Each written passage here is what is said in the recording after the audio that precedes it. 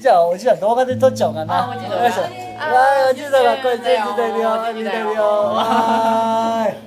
おじいいのかなこんなとこにいてちょっと一人だけ見てない。間違いじゃない。大丈夫？でわーいチュチュチュチュ楽しいよ今日2016年の8月じゃないや11月の8日だねいやこんな日があるドッキリカメラじゃないことを祈ってますありがとうね